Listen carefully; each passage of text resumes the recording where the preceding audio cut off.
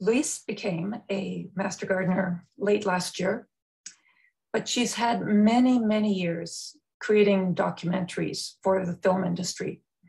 And the one that I particularly joined was thrilled to know that she was involved in was Recreating Eden, which was a wonderful series of beautiful gardens around the world that uh, were available to us between 2003 and 2008. She will be joined by another master gardener, Marilyn Dudek. Marilyn will be watching for the questions that you are sending through the Q&A, and she will organize them and pass them along to our moderator and panelists later in the evening. Now, let's get started with our gardeners here tonight. Elise, please take it. Hello. Um, thank you, Shelley. And uh, thank you for joining us this evening on uh, International Women's Day. Happy International Women's Day to all you women out there. Um, this is the first in a series of three chats with the stars of gardening in the heart. Tonight, we're talking to Lourdes Still from Masagana Flower Farm and Raymond Ngarboui from the Rainbow Community Garden. I hope you've been able to watch the episode, uh, both episodes one and two of the series featuring, featuring our esteemed guests. If not, the series is available on Fibe TV, Channel 1, if you are a Bell MTS shareholder, or, or shareholder, that'd be nice, uh, subscriber, or it is available on the Manitoba Master Gardener website and YouTube channel. Um, um, if you haven't seen them, I hope you uh, get a chance to see them and enjoy them. uh, I just want to thank Bell MTS and uh, a, a, big thank you to the province of Manitoba Film and Video Tax Credit Program for supporting the series. Also the Manitoba Master Gardener Association for sponsoring the series and this chat uh, series. Uh, and in particular, Lisa Renner, who is behind the curtain tonight, uh, making everything happen. Shelley Walker, who you met, and Marilyn Dudek, who you will meet, uh, who are the executive producers of the series and really help make it happen. I produced and directed the series with the help of Ivan Hughes, who shot and edited all the episodes. Uh, and I want to thank Justin Delorme for his music and Dodi Graham McKay and Michael and Laura for their guidance in, uh, in doing the filming. Um, now, without delay, I'm very excited to introduce our special guests, Lourdes Still and Raymond Ngarboui, uh, who will join me now to bring their, their uh, images up. Um, they each bring different perspectives to gardening in Manitoba. Uh, and um, Lourdes was uh, born in the Philippines. She came to Canada 13 years ago. In 2016, she and her husband, Kevin, decided to turn the lawn on their five acre farm near Richer, Manitoba into flower beds for ecological reasons. But these flower beds have now become the Masagana farm, flower farm, and uh, she shares these flowers with the entire province. Uh, Raymond Ngarboui, Raymond, you can bring your image up now and turn your sound on. was born in Chad, but fled to neighboring Cameroon as a young man, where he lived as a refugee for eight years before coming to Canada in 2005. Now, as a CEDA, CEDA community organizer, he works tirelessly to make other refugees from around the world feel at home in Manitoba. Welcome both to, uh, to Lourdes and to Raymond. Um, and thank you for being with us tonight. This is, uh, I know that you're both very busy. Thank you, Elise. It's an honor to be here. oh, um, so Raymond, I'm going to start with a question to you. You arrived in Canada in late September in 2005. What did you think when hit, winter hit a month later? Was it a bit of a shock? yeah, thank you, Liz, and um, everybody here for um, hosting us uh, with uh, my dear friend uh, Lourdes. And uh, I, um, I would like to say hi to uh, everybody who is attending here. Uh, we can't see you, but uh, yeah, we say hi to you all. Uh, yes, coming to Winnipeg uh, in the end of September, um, straight from where it's uh, above 40 degrees. it was it was kind of shock, but not a surprise because uh, uh, I heard a little bit about uh, Winnipeg before coming here. to tell you, it's not a joke, but something that happened. Um, the, the immigration agent who came to uh, interview us in Cameroon uh, asked me, uh, suggested me uh, where to go. I had options to go to uh, uh, Uh, the US, uh, to Canada, and also to Sweden. And uh, I, I opted to come to Canada. And in Canada, I had the choices to make. the, the three choices that I had was Quebec City, Montreal, and Winnipeg. And she asked me, I, I said, okay, I will, uh, I asked the particularity of the cities. And she told me that, uh, you know what, I would advise you to go to uh, Montreal because it's a big city and you are a French speaking person. So your integration over there will be easier, but uh, it's up to you to make the choice. Then I said, okay, I already have French. So I have been I had been um, trying to learn English, but I didn't get that opportunity. So it might be my opportunity to learn English if I can go to Winnipeg. And she said, yeah, that's a good choice, but I have to let you know that uh, over there, it's very, very, very cold. And uh, going from where you are now, it will be not easy for you to uh, get adjusted to the cold, to the cold weather, and also the English will be uh, difficulty uh, another barrier for you in terms of integration. And I, I asked her, yeah, so, so I asked her if, I asked her, uh, are there people, uh, human beings living there? And she said, yes, for sure. And I said, if there are people living there, I will go there too and I will be fine. And then she, she laughed.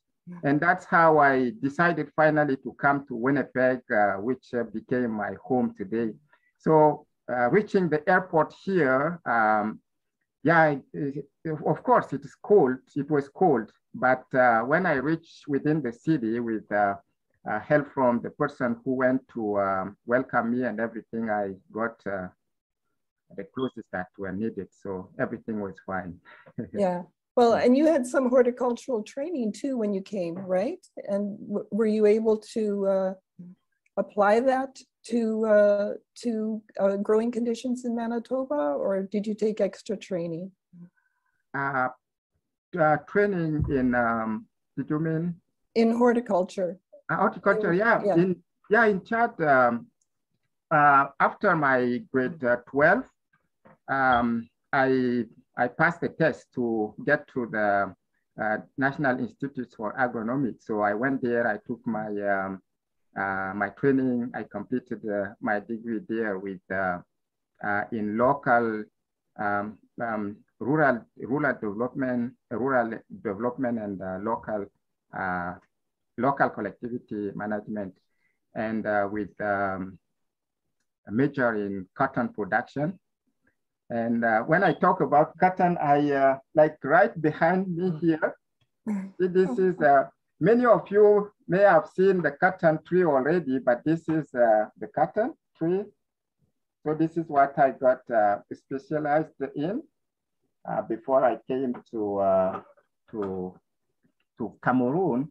And so the cotton, when you, uh, when you harvest it, that's, this is how we put it, something like this, but big. So we, yeah, that's how we hold it. So in, uh, from Chad, when I completed my education, I started working for um, uh, the largest company, agro uh, industrial company in Chad called the Société Cotonnière du Tchad. And then uh, suddenly things uh, went bad and I had to escape the country and find myself to live as a refugee in Cameroon, as you mentioned earlier. And so that's how in Cameroon also I got uh, the other opportunity through um, the United Nations High Commissioner for Refugees to uh, go back to, to school and to, yeah, take uh, studies there.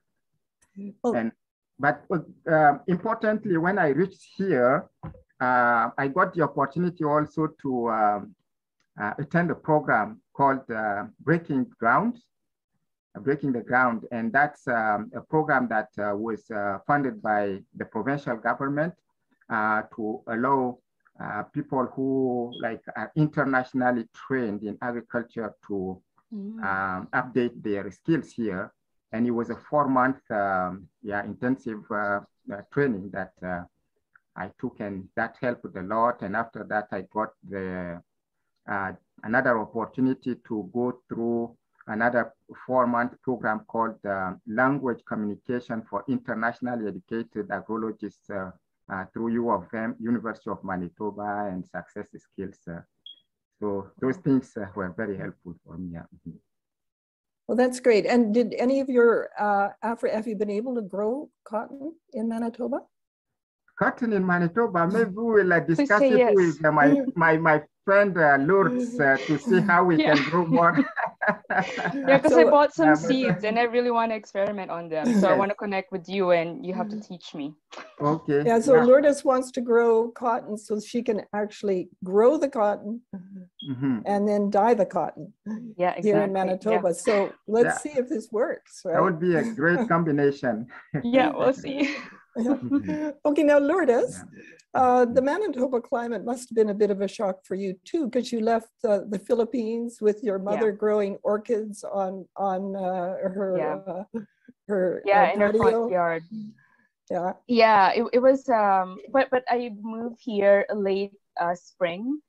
So it was the shock was not, you know, as soon as Raymond Dick landed in Canada. But I when I said goodbye to my my, my boss then, um I had some heads like, you know, shake on me too, like why am I moving to Winnipeg? Because they said it, you know, winter gets to minus 40. Um yeah, but it was a bit of adjustment, especially when I started to dabble into gardening um, I did kill a lot of plants from the you know last frost date that we still have at the end you know after the May long weekend. Um, yeah, and my mom and I believe that she is on the call uh, today from so they're tuning in from the Philippines. Yeah, uh, she grew orchids um, and propagated them, and they actually would hang on the fruit trees that they that my mom and that my papa and mama um, planted. I think the first weekend that you know we moved to the house where they are in now um yeah we have they have some like these small fruit trees and then my mom got into orchid uh, growing because um papa who is uh has contract work like outside of um of where they're living so south of um the philippines who are known for like growing orchids. Um yeah and and i saw that hanging on the tree branches um you know um she used this like um, coconut husk as as a pot and then to hang um and just like how that multiplied um yeah but i wasn't i wouldn't um consider myself a gardener then i i, I saw them i um you know i watched them um grow the fruit trees and and then these orchids but didn't really think any of it but i believe that it's they have a they are a huge influence to i don't know to my love of gardening now mhm. And then why did you come to Winnipeg? Why Winnipeg? yeah yeah so uh I, the intention was to practice um my profession which is um, i have a degree in nutrition and dietetics um, I didn't end up uh, practicing that profession, um, but I don't have very much heartache on, you know, not pursuing that. Um, I think all the things that had um, happened in my life led me to where I am has been, you know, I'm very grateful for that. Um, yeah, but also why Winnipeg? Because I had some cousins here who are already living here for a few years, and um, I had an option to, you know, considering going to the states too to practice um, my profession. But I think it would just like a lot more make sense because I have family here. mm-hmm. Oh, great. And then you had a really interesting job uh, uh, as a buyer for a Floor Supply uh, Yeah. company Yeah. for six years. Can you tell us a little bit about what you did in that job? Yeah, so I got the job in 2012 and it was an international purchasing coordinator. Um, so the company buys flowers from all over the world, um, but my account, together with another senior buyer, was buy flowers from South America, specifically Colombia, Ecuador, and uh, Peru, Guatemala. And yeah, it was uh, it, that work, you know, we do that day in, day out, like every week. So um, we were filling um, a semi truck like on a weekly basis um, from Colombia, Ecuador to Miami, and then a truck going up to Winnipeg and all the way uh, Western Canada. Um, but yeah, but in the it, but it was so interesting during the busiest season, which is Valentine's or Mother's Day. Um, so if on a regular week we'll, we're filling up like one semi truck on Valentine's and Mother's Day, that would be like I think six trucks in a span of like seven nine days. Wow. Yeah. I mean, you don't think about the volumes, right? Yeah. And so did that influence what you're doing today? yeah i think working as a buyer at Florist Supply for sure like influence i think that was my introduction to the world of flowers i mean flowers um you know with my mom uh growing orchids so but you know there is that a little aspect of that and also like growing up as a catholic church like we do you know put together or get some flowers to to um to, to bring to church um but as a consumer you know i think um and also I think do, um, now doing um, the flower growing, I don't think that I would be doing what I'm doing if uh, not for having that job that I held for like six years. Yeah, for sure. Mhm. And then how did you end up on five acres in Richer, Manitoba? Yeah. um, so my boyfriend, who is my husband now, um, he already has have the property before he met me, and yeah, I didn't really plan on moving to the country. I was a city girl when I was in, in you know in the Philippines and even moving to Canada. I knew my way and I felt really at home in Winnipeg. Um, but also it was a welcome change. Um, yeah, so the first spring summer that we dated, that we were dating, um, we gardened like right away, and it was a um, shared passion. Um, but yeah, but I saw an opportunity that um, yeah to maybe um, make that into to a business which you know it was um it was a process in the last i don't know five four years mm-hmm. or seven Okay. years yeah And we'll Yeah. talk a bit uh, more about that in a little while. Mhm. Raymond, um, the, the Rainbow Community Garden featured in the series is only one of many gardens that you have uh, in the province. Can you tell me where the other gardens are and the numbers of families gardening in those gardens? Uh, yes, there are, um, we do have um, uh, plots um, at uh, St. Mark's uh, Lutheran Church there. They provided us with the spot there. Uh, there are there are um, a number of families uh, who have been growing uh, vegetables there over the past five, six years. Uh, we do have um, floodway site. Uh, we do have um, Saint Vital. We do have uh, um, uh, Niverville. Um, Niverville space, which is a large space uh, provided us uh, gracious, graciously uh, by um, the Ernest Brown family there. And that's very helpful. And also there is another site that um, last year through our collaboration with uh, the Winnipeg, uh, uh, the Food Council um, from the Winni uh, city of Winnipeg, we were able to uh, put together a new site in West Kildonan. Mm, Uh, Yes, so by Perth, there close to the uh, uh, Seven Oaks School Division there by the, yeah, the, the community center there. Uh, we inaugurated it um, last year. And um, of course, our uh, main site, which is the University of uh, Manitoba with uh, uh, about 258 families last year. Uh, Mhm. So That's a lot of people, yeah. Mm-hmm, that's uh, Yeah. the Manitoba. But uh, for total, we we are around uh, 350 uh, families growing in Wow. total. Yeah. Mhm. And when did you start all of these gardens? Uh, and when did you get started with, and, and why, why are you doing it and what's important about it? Uh, the garden started in uh, 2008, and um, myself as a, a newcomer or the new arrival at that time, uh, it was uh, hard for me to adjust uh, myself to local um, food. Uh, so I I was trying to um, to eat like uh, uh, in back home, and it wasn't easy. And when I go to a store, I found those food that I used to, but as I It's so said in the film, it's very expensive, and the taste also is not um, quite the same as the one that I, the ones that I used to in back home. And I saw space here, and uh, even though the the weather uh, can't allow for uh, very long, I think uh, with um, some basic techniques, uh, we can grow something. So that's how I um, approached um, um, Knox Church, uh, Pastor Bill Miller at that time with uh, um, the Knox uh, administration there. I talked to them and then um, they were open to the idea and that's how we started. And um, uh, after that, uh, thanks to um, one of my good friends, late uh, Terry Lynn, uh, yeah, she brought in some other folks and also uh, Robert Roll from the St. Norbert Foundation.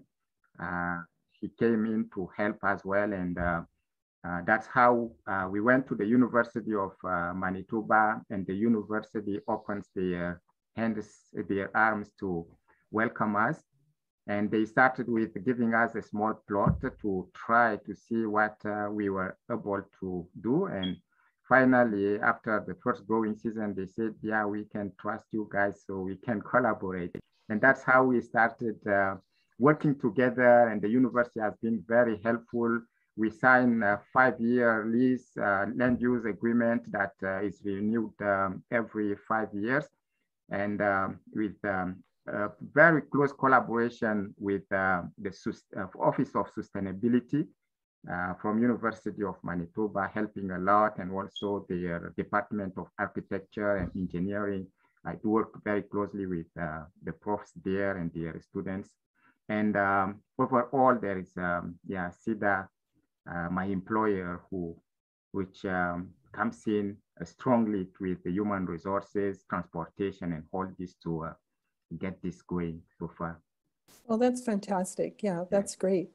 Um, we'll come back and talk a bit more about that. Mhm. Um, Lourdes, uh, Mhm. tell me uh, what uh, Tinta experience is and, and why you started that and how it works with the garden. Yeah, so uh, the Tinta experience, if um, for people who watched the short film, so um, the people that were there um, picking those flowers, putting it on fabric, and then you know we were unbundling it. So that is um, my Tinta experience. So Tinta experience is a dye your own wearable art experience. It's a three-hour engagement at the farm where um, people uh, learn, my guests learn about the multifaceted um, operation of the farm. So they learn about the dye plants um, that I grow and how we turn our lawns into garden beds. And there's the you pick experience where um, you pick the flowers yourself, fill um, the basket that I provide you, and then we go back to my outdoor um, space and I show you, I guide you how you can use this to uh, dye um, silk scarves and then and then the other one is like the indigo um, dyeing with the cotton bandana. Um, yeah, so Tinta experience came from it's a combination of my love on locally grown flowers, so cultivated um, flowers, and also um, my new found passion in natural dyeing. So to tell you a little bit of, of a background on how that came about. Um, I can't help but like go back in 2018 when I think we were only growing two plots of garden, um, which, which is 20 by 30, so 1200 square feet. And there were a lot of flowers. So this actually, um, the garden in my background, that was 2018. So that is when I first um, grow was growing flowers in um, in in this volume and even though i did sell some i also did a lot of weddings that i only use um Manitoba grown flowers, there was a lot of um, waste. So it didn't really sit well with me. And I said, you know, I wanted the flowers to be like multi-purpose. And so the following um, winter, I I I was like looking for who are in my neighborhood and neighborhood like in a country uh, standard, which is probably 20 minute drive from where I am. Um, that there are these fiber farms who are you know raising um, uh, sheep that they used to um, to spin wool to, for yarn and that day I learned that they um, cultivate dye gardens to color their yarns. So that felt like um, this is kind of like the solution to the waste that I saw in my garden in 2018. So now moving forward, you know, um, my flowers are not only one use, but I try to pick the ones, decide the ones that will give me um, two or more um, uses, which is either you know good as fresh cut and also as natural dye, or fresh cut and also um, as a, a natural dye source. So 2021, um, that's when I started offering Tinta experience. And I really love showing people like my gardens. And we were like we were in the middle of pandemic and I saw this opportunity that you know we were not able like to travel outside the province and the horticulture scene um, did see an uptake, right? Like um, garden centers like sold out of their plants. So this mm-hmm. need of people to go outside and experience, I guess, the country um, side of Manitoba and get out of the city, I saw the opportunity to um, create this experience. So people, you know, I think it's a three-hour engagement at the farm, but also the drive because I'm an hour away from the city. It's like a five hour um, time that you're spending. So I felt like um, it is an offering to Manitobans for like, you know, something new. Um, so yeah, so that's kind of, that's how uh, the Tinta experience that came about. Right, that's it. It's a, a good opportunity, yes. So yeah. um, I'm really interested in the indigo dye and, mm -hmm. and can you tell me what plant it is that you grow? Yeah. And uh, tell me a bit about the plant. Is it easy to grow in Manitoba? Is it a perennial? Do you have to start yeah. it indoors or? Yeah. And, so, and how much um, of it um, do you need? To... Yeah, good questions. um, so the variety that I am growing and that we can grow in northern climate is the uh, Japanese indigo or Persicaria tinctoria. Um, mm. And so I start them indoors, um, like mid-April. Um, that's when I start, um, yeah, sowing them indoors, and then transplant it as um, for sure, like after the threat of last frost, because it's very um, frost sensitive. Um, and through I so I don't use the indigo I don't use for any of my cut flower arrangements. This is mostly this is just for dyeing, and the dye actually comes from the leaves and not on the flowers. Even though it does create it's that it does have some beautiful pink flowers, um, and I usually do um, get a couple of like harvest and um, so harvesting like the leaves like mid July, and then the second one.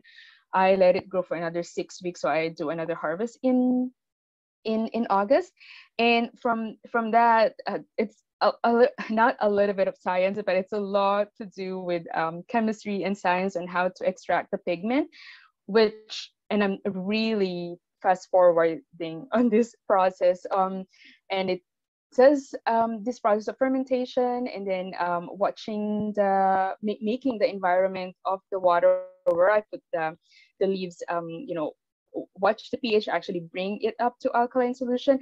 And then there's decanting. So you basically um, putting I put in a mason jar and then I let it separate. So the liquid and then the pigment. And then after that, um, I strain it and then it becomes a paste and, and then I dry it and it becomes powder. I was able to extract some indigo powder um, from my plants like last year, but I uh, yeah, but I should tell you that I haven't used it because I just felt it's so precious that I think I'm waiting for a really special project um, before I use the um, I use this indigo powder. Um, yeah, so it's not a perennial; it's an annual crop um, in in Manitoba, and I really like it because it all it is um, nitrogen fixing too. It's um in the family of legumes, so I actually use it for crop Mm. rotation. So that's the another thing that I love about um, indigo. So Mhm. yeah, so I I do plan to uh, rotate it and then just put back um, nutrients back in this, so especially for those ones who are like heavy feeder.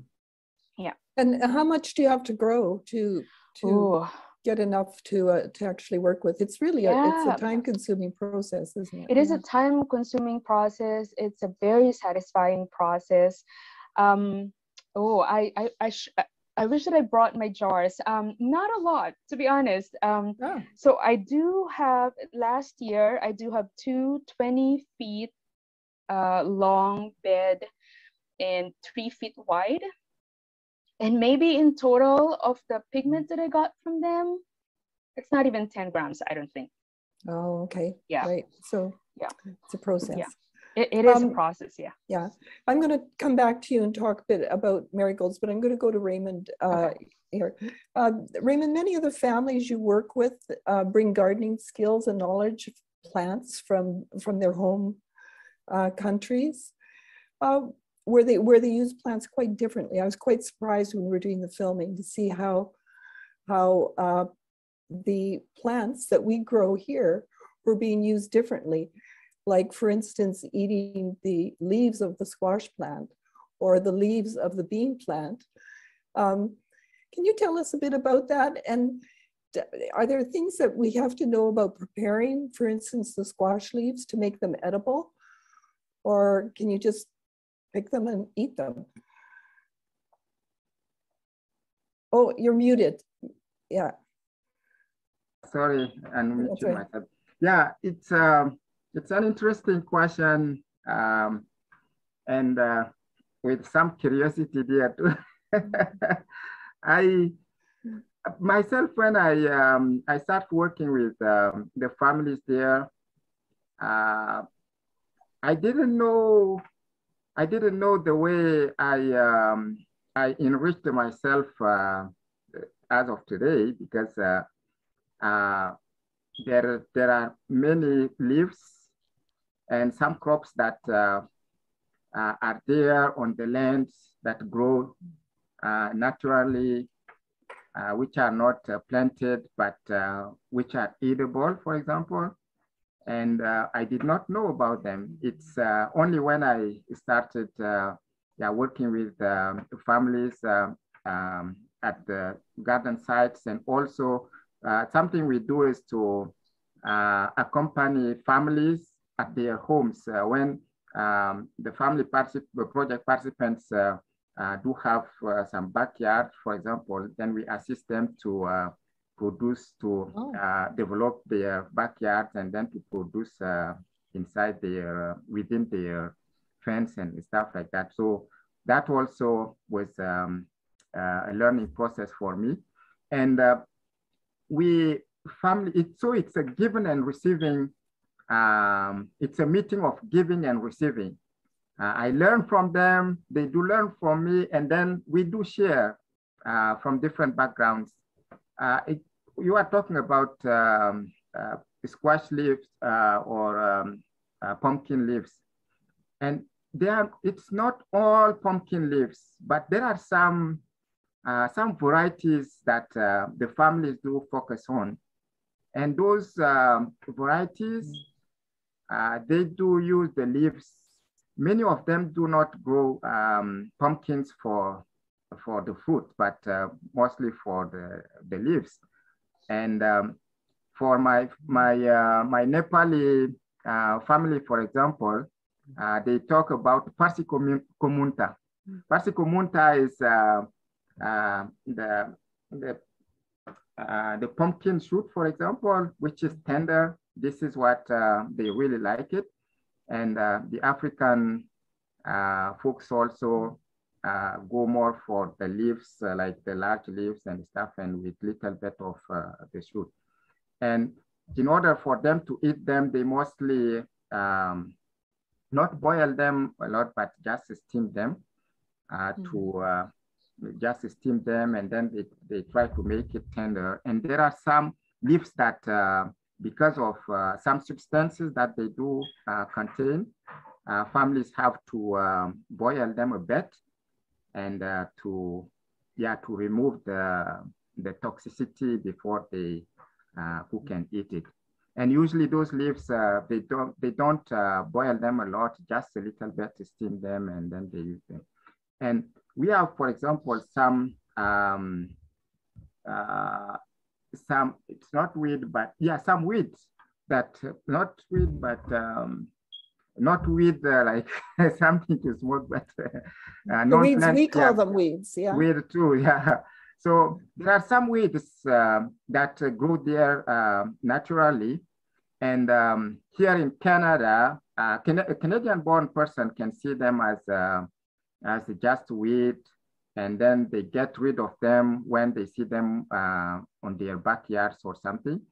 But over there, I did realize that uh, families know about them. Some of them, they use them as uh, medicinal uh, to cure uh, some wound, uh, to stop um, hemorrhage like bloody situation, or to eat them as vegetable as well. Sometimes they do it them raw, sometimes they, they cook them. there is one plant, for example, in Nepali, they call it tepati. And that plant, it's everywhere here. You can just cut it when you get a wound, uh, when you get injured and you are bleeding, you cut it and then you, uh, you rub it on the wound and then it stops and it's like uh, antiseptic, for example. Mm. -huh. And there is, um, do you know what the, uh, do you know what the local name is for it? Is that a, a plantain or something? Uh, sorry? Is, do you know what the local uh, name for that plant is? Yeah, the local name, uh, it's, um, I do have the scientific name. It's, uh, wait, it will come back. I will, um, I, okay. yeah, I will um, uh, share it with you. And uh, there are some weeds, for example, that um, uh, um, Canadian bonds do call it um, pigweed. And pigweed, there are two varieties of, uh, there are many varieties of uh, pigweed. And there are some that um, they are, it's, um, it's actually amaranthus or amaranth. And the wild amaranth, for example, that uh, grows widely everywhere, um, for Canadian born, it's, it's just a weed. And, but when um, new immigrant uh, or immigrants see it here, it's a, it's a very good food for them they harvest it and um, they cook it, they can steam it, they can eat it in soup and all this. And it's very nutritious. And interestingly, that weed back home, uh, we call it um, um, herbe de cochon, like same like pigweed as well. And uh, that's where, that's what we go to the bush to harvest them, to uh, collect, to bring, uh, to feed the pigs uh, in back home. So when I come here, when I came here, I heard the name pigweed. It reminded me straight uh, uh, what we did with it back home, what we do with it uh, in back home. And I saw that um, uh, folks from other part of the world are eating it. And the kind, the variety that we do eat back home is the variety that we do grow. And they do look same, but the leaves, you can tell the difference from difference from the leaves. So when I tasted one time, I found that it was very tasty. And then I started uh, eating it as well. And when we went to, when we got um, our uh, plot in Niverville, thanks to um, uh, Principal Vinny Yoon, uh, we got it at, um, um, in, in Niverville, we went there and then that land is full of uh, that pigweed. And so every June or about end of May, um, about end, uh, beginning of June, middle of uh, June, uh, that's the, the first harvest that uh, the families go for there. They harvest it and then um, there is another um, weed as well called um, um, uh, uh, Chenopodium, for example. This is uh, for Canadian born, it's, uh, it's, uh, it's a pure weed. But for new, for uh, new immigrants, it's a very, very nutritious food. And so we go there to harvest it, they go there to harvest it. And so we do that harvest, like the wild harvest first, and then after when we grow the stuff, then we start uh, harvest what we, we grow. Mhm. And so the pigweed, for example, the amaranth, the part that we grow is uh, one of uh, uh, the, the crops that uh, we really uh, like here. And another thing that I can add is um, uh, the potato, sweet potato leaves, for example. Uh, sweet potato leaves uh, in back home in Chad, uh, we do grow a lot. We do grow um, sweet potato leaves a lot, but for the roots, not for the leaves. So every time we grow, we remove all the leaves and then we throw them away or we feed uh, animals with, and then we just go for the roots.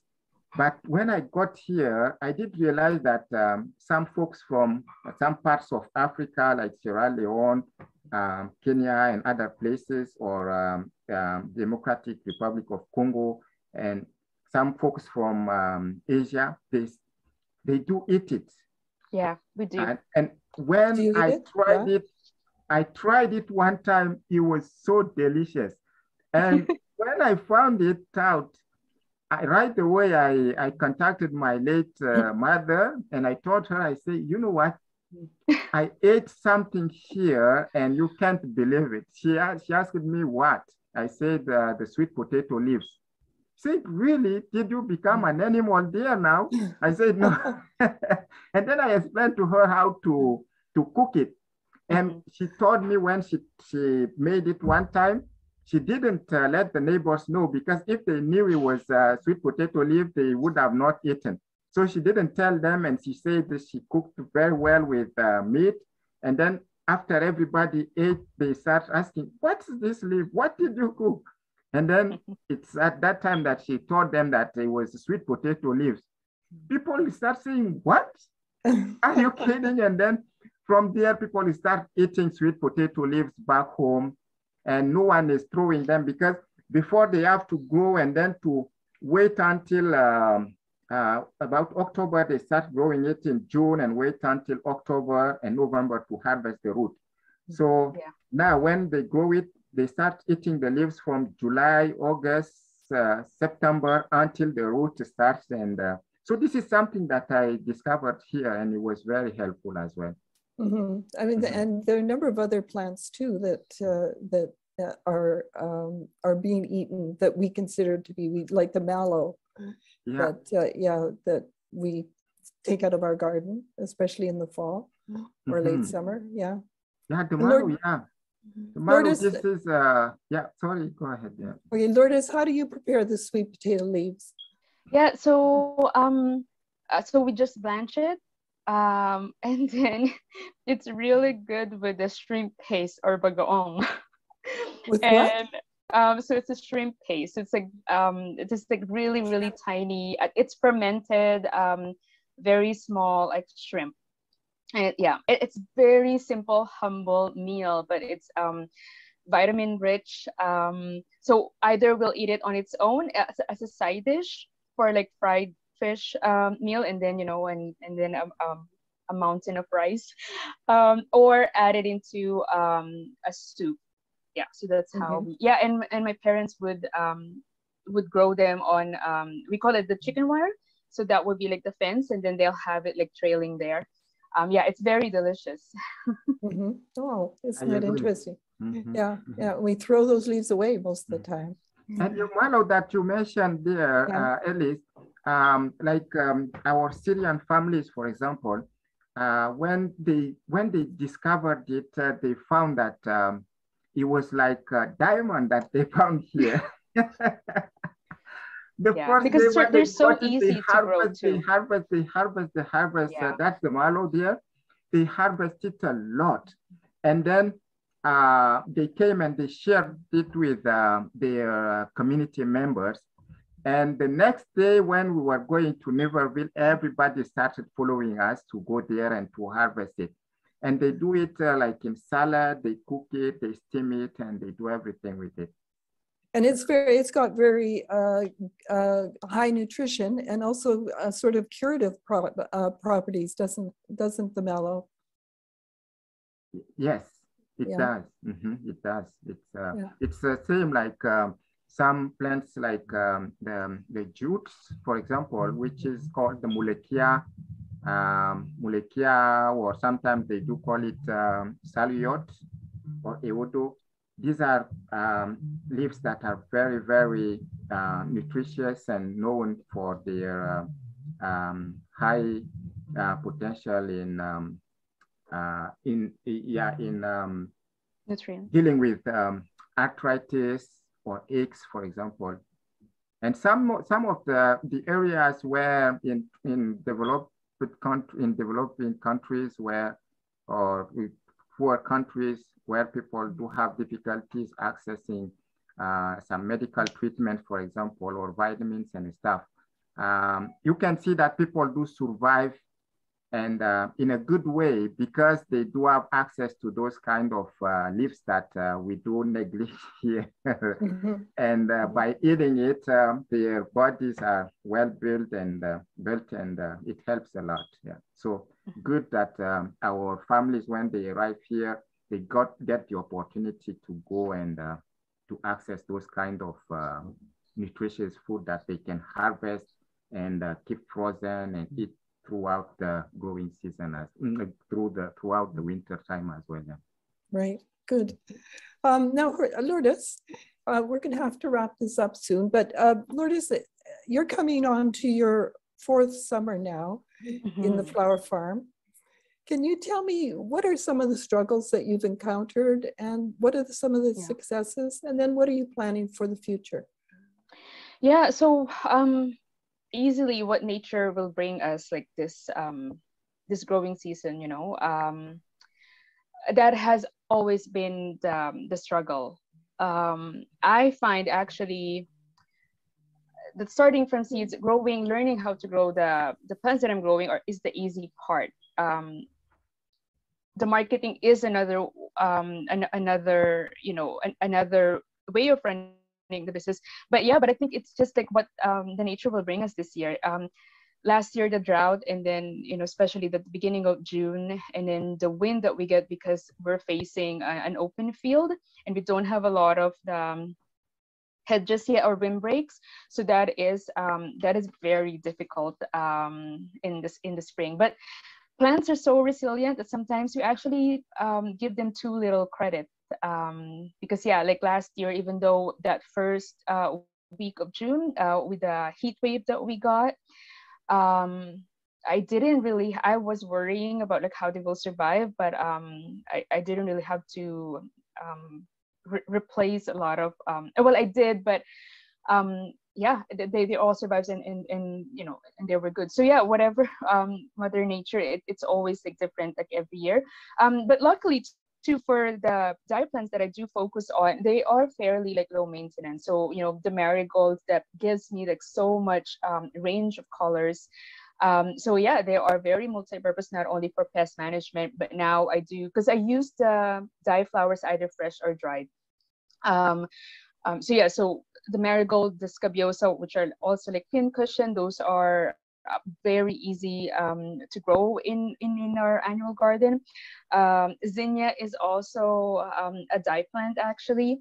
Um, there's a certain variety of amaranth, which is Hopi dye, um, which is also edible that I grow and use for, for dyeing.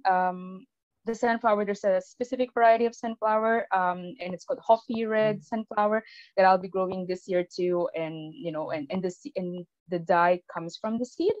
Um, yeah, and the hollyhocks, which is biennial. So yeah, so most of the um, crops that I grow for dyeing are fairly low maintenance, like luckily. Mhm. Are you growing any perennials this, uh, that, that, Yes, um, I do have a 20 by 10 plot that were dedicated just for um, for peonies.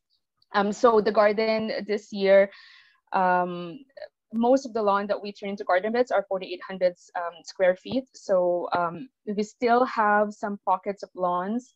Um, that's the next project to convert this um, green spaces still to be native and, and perennial. But yeah, so I have my only um, perennials right now are the peonies, which is only like second year, so I don't think I'm gonna get a great harvest for them. So hopefully next year on its third year, um, I have some crops of uh, hollyhocks that are yeah they're, they're also used for arrangement, but also they're like great as a dye flower as well.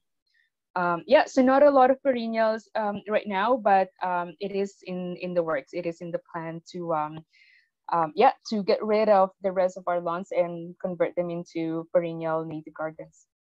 Mm-hmm. Great.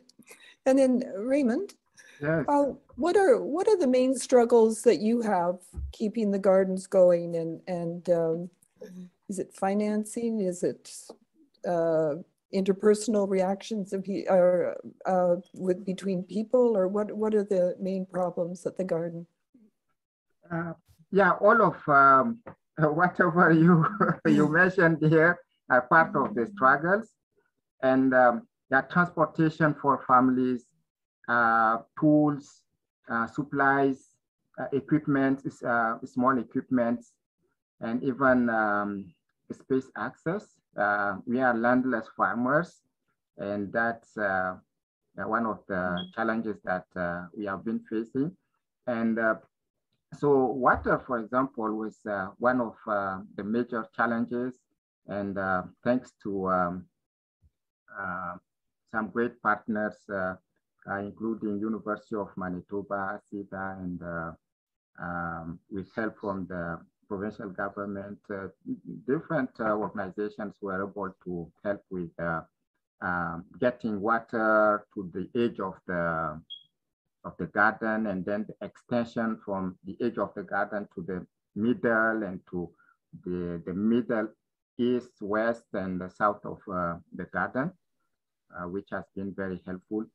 And um, things became even uh, more complicated with uh, the COVID-19 uh, situation because uh, before families were able to share hoses, to share end tools, to share shade and stuff, but uh, uh, with uh, the shifts that we we had to deal with now, it's is it's difficult to share um, whatever is here in place, which is difficult. And there used to be some organizations like um, um, Assiniboine Credit Union and uh, uh, Winnipeg Foundation, they used to help with uh, um, the supplies with some small tools and stuff uh, through uh, Knox United Church because Knox uh, plays um, a very important fiduciary uh, role in this um, uh, project.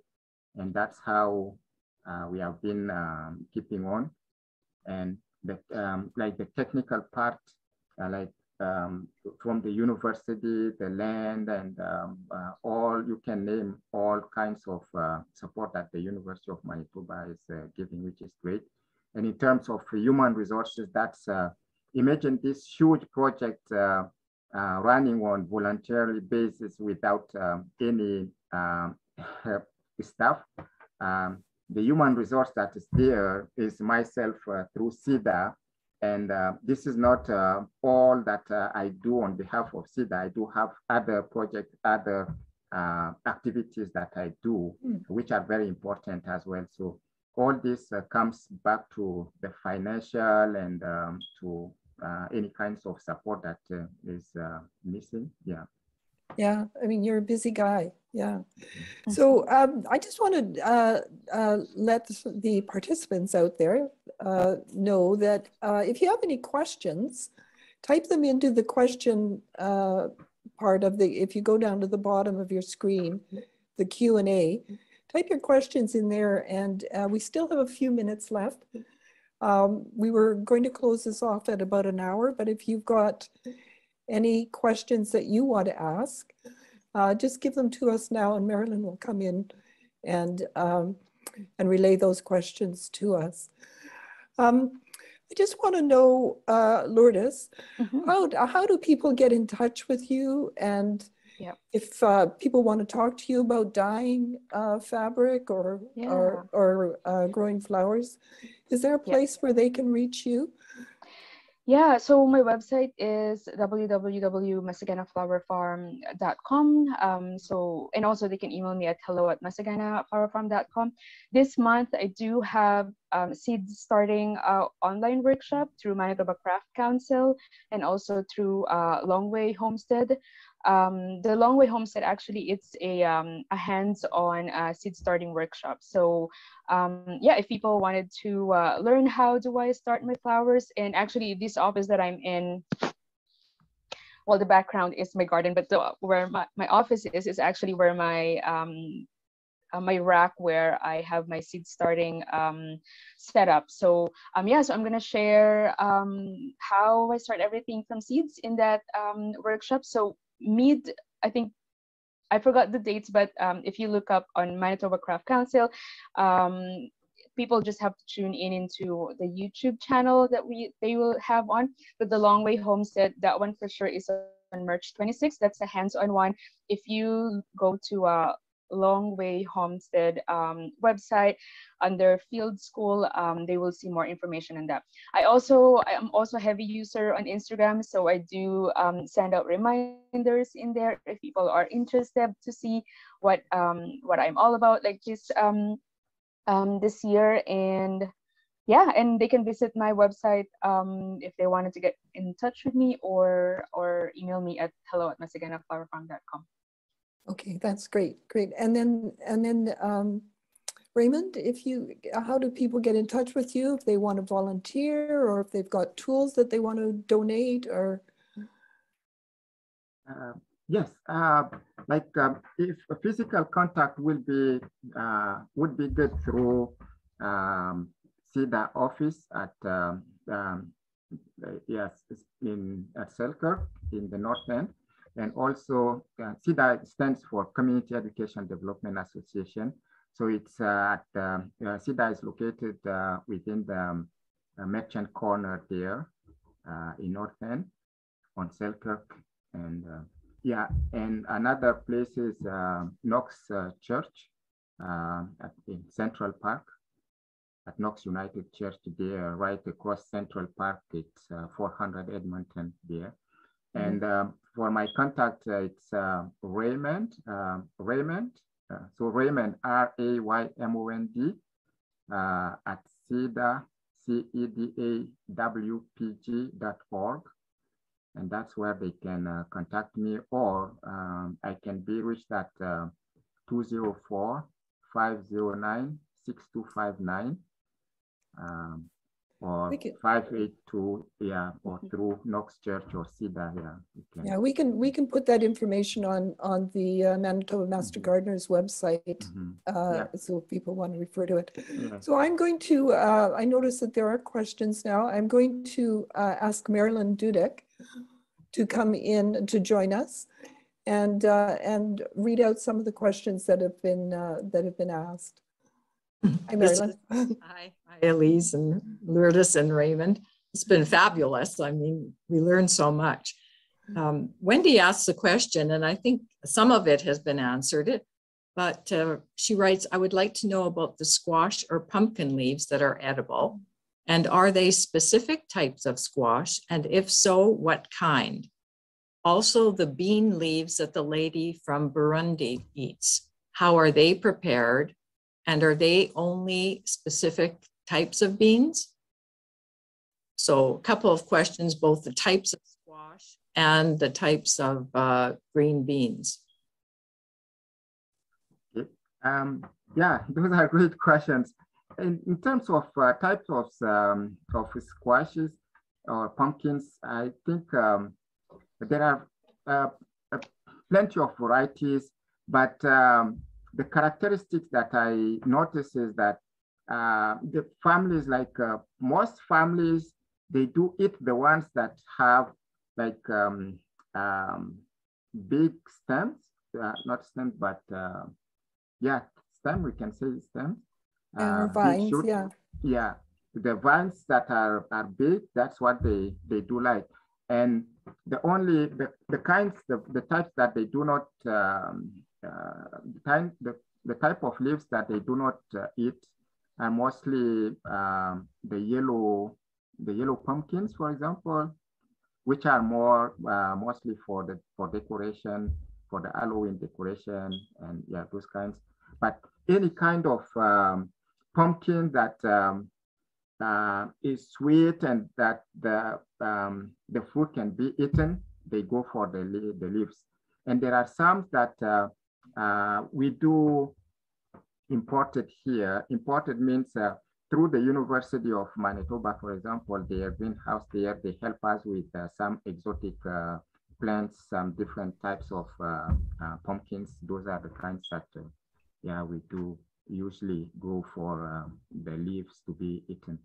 And the beans, it's the same. the families do not eat the leaves like the regular beans, like the green beans, for example, that we do have here um, they do not eat those leaves. Uh, the ones that they do eat the leaves are uh, the, like the black eyed peas, for example, these are types of the leaves that they do eat. There are type of beans that are, um, are red, kind of, and uh, are reddish, and uh, the leaves are um, with, uh, the leaves are, do have some, some special type of leaves uh, of shape. And these are the ones that I see them uh, mostly eat them. And also um, Lourdes mentioned um, uh, the, the, fixing the, the nitrogen on the ground. So there are some types of um, of uh, beans like uh, or Calopogonium. I don't know how to call them in uh, in English, but uh, those are the types of um, uh, the beans that uh, families do usually eat them. And before they steam them or they, uh, they cook them in soup, they boil them a little bit. They don't boil them, but they, they boil water, they bring water to boiling and then they add to mm-hmm. it and it sit for um, a while and then they remove right away before they uh, use it. And like the other, the other um, name that I was um, um, looking for is Artemisia, the, the, oh, yeah. the plant that I was, Artemisia annua, that, yeah, this is uh, what I was mentioning. And that's also is uh, used uh, in back home in Africa to cure malaria. No, to, yeah, to cure malaria and stuff too. Artemisia mm-hmm. uh, comes in variety and, and is a weed here, or it can be used in, in gardens as a decorative uh, mm-hmm yeah, I found that fascinating about all the varieties of weeds that we classify. Um, here's another uh, from Hila. Do you need gardening tools? Yeah, that's um, one of the most needed um, um things. Um, families really do need uh, tools. So any tools can go through the University of Manitoba um, Sustainability Office or through uh, Knox Church or through CEDA. And uh, yeah, but sometimes um, Food Matters Manitoba also can um, receive those things and then uh, convey them to us as well. And Food Matters Manitoba has been playing a huge role in what we do too. Yes, and I know one of our members is collecting them from the Master Gardener members, so I'm sure she'd be willing to uh, have people drop it off at her place. I can always uh, give more information for that on the website. Yeah, well, thank you for that. And yeah, we, we have been receiving um, seedling donations, um, used tools from the uh, Master Manitoba Master Gardeners. Uh, yeah, your support has been really, really appreciated lately. Uh, thank you very much. Uh, several of our members are growing peppers for uh, the garden at the university because uh, was a popular crop there when I visited when, uh, during the filming.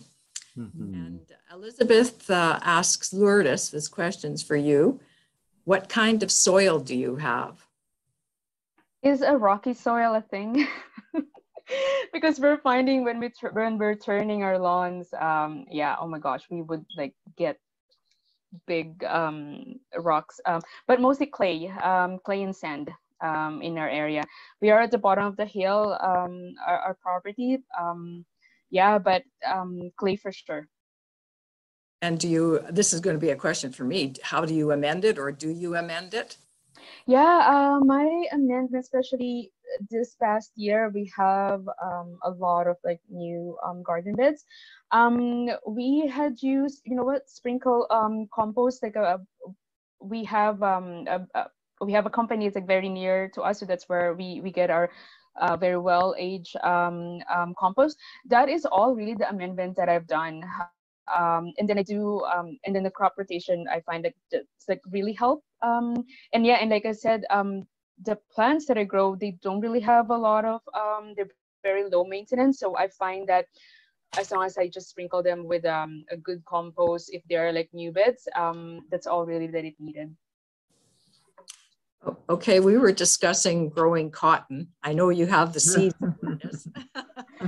and we Yes. have the uh, professional uh, cotton grower in Raymond. Raymond, Yes.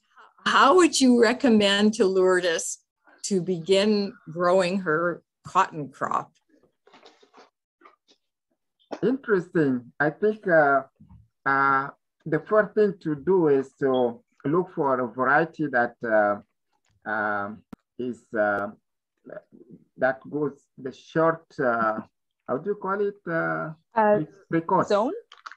Huh? No, short maturity. Yeah, short maturity. maturity. Which I, I Yeah, don't think there variety. is. so uh, and in, um, for that, uh, since we can't um, import the seeds here um, uh, without going through the official uh, canal, we would um, go through the University of Manitoba or some um, official uh, seed companies here and see if they can uh, provide us with uh, the short uh, Short season. short season. Yeah, I know it is a long varieties, shot. Yeah, Yeah, it Uh-huh. is a long And- shot. yeah. Once we get that, um, we can, even though if we do not get um, the short uh, maturity uh, variety, we can still go for the long variety, but uh, uh, we will apply some basic techniques uh, in terms of uh, what kind of soil to have around uh, the plants, when to put them down. Maybe we can uh, pre-germinate the Yeah. uh, the seeds. And then uh, maybe we, we need to cover them and give them some um, temperature, uh, some range of temperature uh, when the, the weather or the climate fluctuates and something like that. Mhm. That way, maybe we can hope getting, even if it's not to the maturity, we can get uh, to a situation where we can find something like this if it's not completely open, but maybe if we can have it like this, it will be already something Yeah. new in It's so interesting because the seeds already look like cotton. It's like really fuzzy. Yeah. Yeah. That's the thing. Fuzzy seeds. And um, yeah, and also we do have our um, good friends at uh, University of Manitoba in the greenhouse, for example, who has have been helping a lot with um, uh, some varieties like this. So we can talk to them and maybe start growing them from uh, the greenhouse in, in, indoor. We can talk to Joanne, for example, Mhm. if she can help with starting it uh, indoor and then see if we can um, find a way of um, uh, succeeding the transplantation from indoor to outside so that uh, we can make it successful. Yeah. What's the normal maturity for uh, cotton plant from growing to harvest? Uh, it's uh, it can do six months, it could be uh, five months, it depends. And it depends also uh, on the type of the soil and the weather, the temperature. Yes. Because uh, yeah, it's it requires uh, hot temperature. Yes, well, I, I know when we spent the winter in Arizona, that uh, there'd be fields of it there and, and you would see them planting it in the fall and, and it would take quite a while to, uh, Mhm. before it matured to harvest rate. Yes. Well, I look forward to that experiment. Yeah, let's go for it. Excellent. And uh, Ursula says, no question, just Just thanks, Lourdes and Raymond. I had the pleasure of watching your Gardening in the Heart episodes, and it's a pleasure to hear from you. You're both very inspiring, and I love the contributions you're making to the community. Elise, you know I love you. Oh, thank you. That's. uh,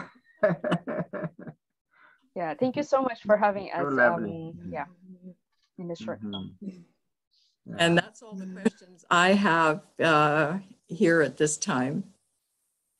Is, is there anything that uh, either of you want to say to close off this session? Lourdes or Raymond?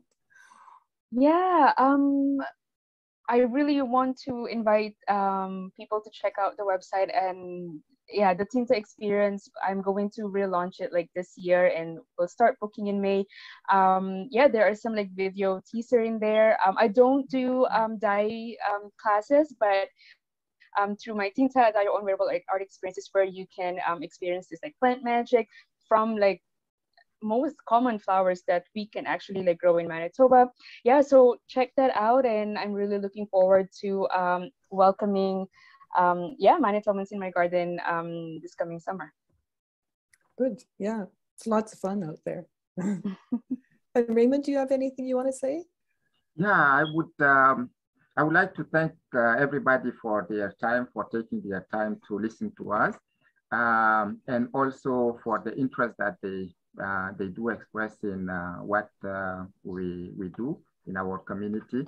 And I would like to catch uh, this opportunity to express, uh, on behalf of all families involved in Rainbow Community Gardens, our gratitude to some key partners, uh, organizations, and individuals uh, without uh, whom this project can survive or can continue, starting with the University of Manitoba and their Office of Sustainability, um, Food Matters Manitoba, Knox Church, St. Ma St. Mark's um, Lutheran. We do have the Manitoba Food Council, from the city of Winnipeg and um, uh, Gordon Bell High School with uh, their um, principal, Mr. Bin Hyun, who knows, who understands that uh, a student with uh, empty stomach cannot listen or cannot uh, perform in class and who has been behind this project as um, uh, an important contributor. And um, uh, also, I can't forget um, uh, Ernest uh, Brown family and Mom Doreen in Niverville, Peter Nickel in, um, in Landmark, and also Janet uh, Civilai from the city of Winnipeg. All these people, and there are some that uh, I don't uh, mention here, like uh, the Winnipeg Foundation, which in the past helped families with bus tickets, uh, supplies and all this. So thank you everybody for uh, your contribution. Well, and thank you, Lourdes and, and Raymond for your contribution here tonight. And I'll turn it back to, uh, to Shelley. Okay, and thank you, Elise, Lourdes, and Raymond for sharing your thoughts and experiences with us. I found it uh, actually really enlightening. There's a couple things I want to try in my garden this summer. I want to apologize to those people who did not, uh, were not able to get their questions answered because unfortunately we've uh, run out of time. However, thank you all of you in the audience for joining us and for your questions tonight.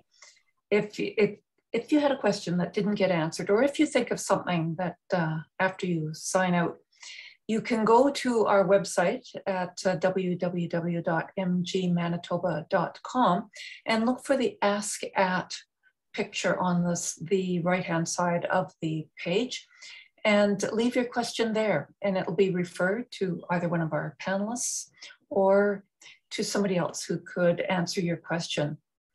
You, uh, as the audience, will